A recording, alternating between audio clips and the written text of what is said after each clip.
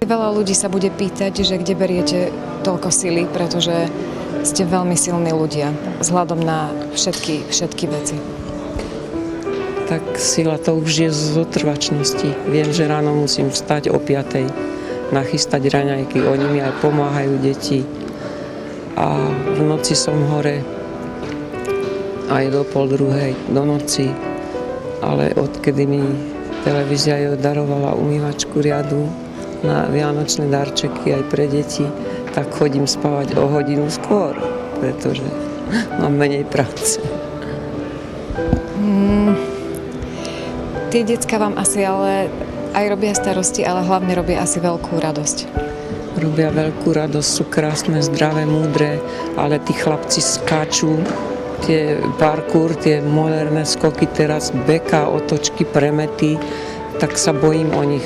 Skáču dokonca aj na kolobežkách mám veľký strach, že aby sa im niečo nestalo. Čo je vlastne s vašim druhým synom, ktorý je otec týchto detí? Vy viete, kde sa on nachádza, alebo... Môj druhý syn, Peter, je to vlastne tretie moje dieťa. Bol s nami v tomto rodinnom dome, odkedy sme sa tam nasťahovali. 10 rokov, viac ako 10 rokov. Nesnažil sa, nepracoval, nestaral sa o deti, používal alkohol vodil si priateľov, robil tam proste zlé, nič tým svojim deťom nedal, ani, ani prechádzky. Možno za tých 10 rokov bol 5 alebo 6 krát s nimi vonku v prírode. Odoberal im e, z peňazí, ktoré oni dostávali od štátu. Požičiaval si, nerobil len sem tam nejaké brigády.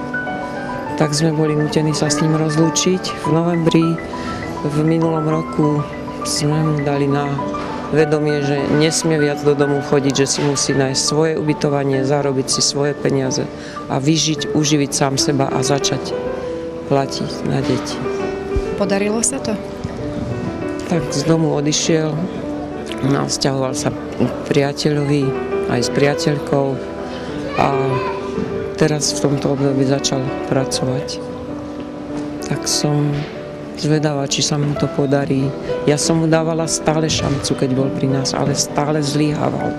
Zlyhával, proste sa to nedalo. A strašne ubližoval aj deťom, aj nám všetkým, ktorí sme v tom dome žili.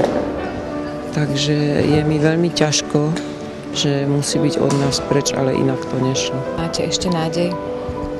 Pálka?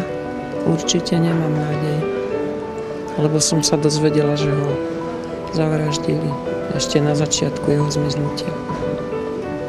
Čiže teraz sa potom pátra, ešte nepoznáme žiadne výsledky, ale už nemám nádej a je to najhoršie. Tých 10 rokov som mala nádej, že sa ozve, že pošle nejakú malú správičku.